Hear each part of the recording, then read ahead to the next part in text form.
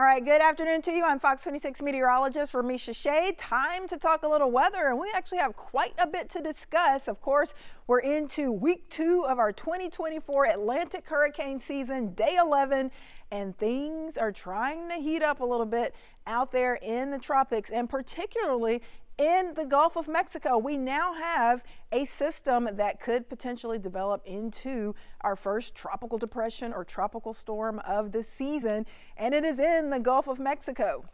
So, like I said, lots to talk about. This is, of course, where we look to see if we could have any tropical cyclone formation, particularly for the month of June. The Gulf of Mexico, one of those areas to watch, and that is exactly where we have some brand new development. We also look into the western and northwestern Caribbean Sea to see if we have anything developing. Nothing just yet there, but we also usually tend to look over towards the Bahamas, the eastern seaboard to see if we can get anything going here. This is another hot spot if we were to get anything of a tropical nature to develop in the month of June. Of course, as we've been telling you, waters out there, sea surface temperatures are super warm like bath water. We've got temps well into the 80s for the Gulf of Mexico, for the Caribbean, for a big chunk of the Atlantic. So unusually warm waters for this early in the season. So that could spell some trouble as we go through the next several days. So I'm sure you want to know what is going on in the Gulf of Mexico, and this is what is happening. This is our tropical outlook, seven day development potential, and we now have a new invest, our first of the 2024 Atlantic Basin hurricane season. This is called Invest 90L, and it is just off of the west coast of the Florida Peninsula, and it is already dragging up a ton of moisture to parts of South Florida where they could get anywhere from 6 to 12 plus inches of rain over the next couple of days. So you know what that means, a big flooding threat.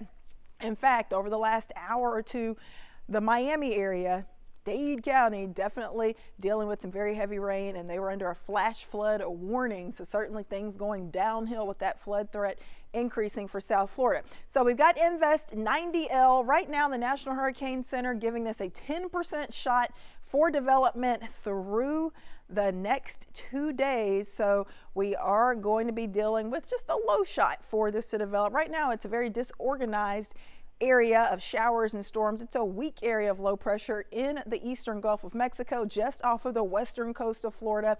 Over the next seven days, it's got a 20% chance for tropical cyclone development.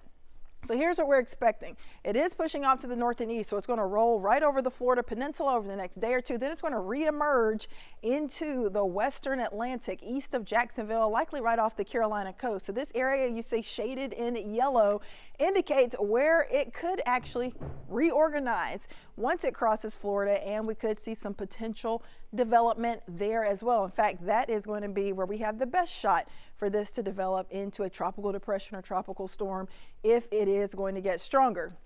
We've been telling you the last few days about a ton of tropical moisture, that plume of tropical moisture basically impacting a big portion of Central America. We've got a lot of moisture, showers and storms up towards the Yucatan Peninsula, right around Cozumel, right off of the west coast of Central America. Quite a few showers and storms bubbling up there. Nothing organizing to where we would say we're concerned about a tropical system just yet. But of course, in the eastern Gulf of Mexico, west of Miami, we do have that area of disturbed weather, that tropical disturbance or tropical wave that we are now monitoring.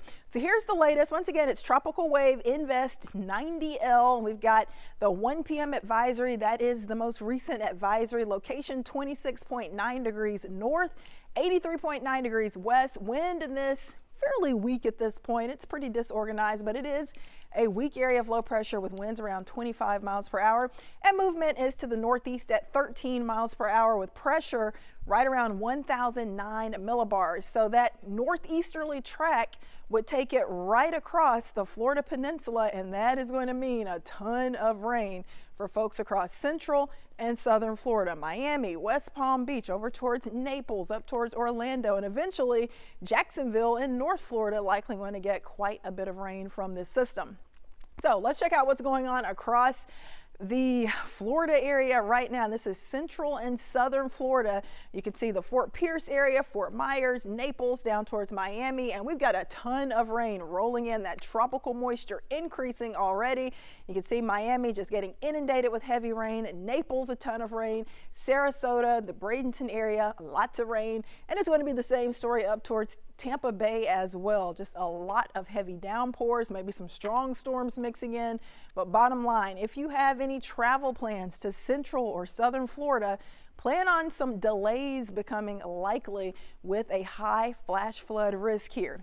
In fact, we still have that flash flood warning that I was telling you about for the Miami area that now continues all the way through 8 p.m. right around Miami and close to Fort Lauderdale, we do have a flash flood warning here as well, and that continues through 645. So not the best weather day across central and south Florida for the Sunshine State. Not a ton of sunshine for the Florida Peninsula right now with that potential tropical system impacting the area. Now, I don't expect that area of potential tropical cyclone action to come our way. However, once that crosses the Florida Peninsula and pushes likely off of the Carolina coast, we're actually going to be watching more additional development that will be possible in the Gulf of Mexico. So we're watching the Gulf. A big tropical plume of moisture is expected early next week. It's likely going to be between Sunday, Monday, and Tuesday. So notice our GFS model Sunday showing a lot of moisture getting kicked up into the Gulf of Mexico and basically since yesterday, the big plume of moisture has kind of shifted to the west a little bit more. So that would put Houston more in line for some of that heavy rain. So of course, this track will likely kind of shift back and forth over the coming days. But bottom line, it is a holiday weekend. It's Father's Day weekend coming up. Father's Day this Sunday. You may have plans with dad. You may have some plans early next week on Monday and Tuesday.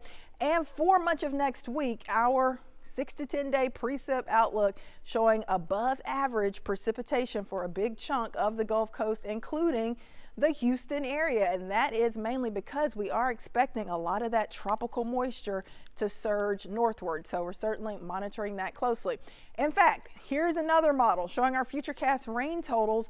And notice through about Thursday night, 11 p.m., not a ton going on for New Orleans over towards Houston, but over the next few days, a ton of rain for central South Florida, several inches of rain likely before that potential tropical system moves on. Then the rain likely will start to increase for us, especially after Sunday night. By Monday, Tuesday, this model painting a ton of rain rolling right into Houston, so this track could change as we get more updates, as we fine tune this, but right now, this particular model showing that things could get pretty wet, soggy, and messy for us by early next week on Monday and Tuesday. So of course, keep checking back day by day and we will keep you updated with the latest forecast models. But we are tracking the tropics closely. Bottom line thing to know, the tropical disturbance in the eastern Gulf will bring lots of rain to Florida for the next few days, but it's not going to have a major impact on us because it's moving away from us. But we are still watching the Gulf for a plume of moisture Sunday through Monday and even into Tuesday that could head in our direction. And we could have a trough or weak area of low pressure possibly in parts of the Gulf early next week. That could have some pretty big impacts on our weather. So you certainly need to stay tuned for updates. Of course, we will let you know if that track changes and if things kind of start to go downhill for us. So I don't think we're looking at a big tropical storm or hurricane heading our way early next week, but there definitely could be quite a bit of rain and we could have a little weak tropical system that could get close to the area. So definitely stay tuned.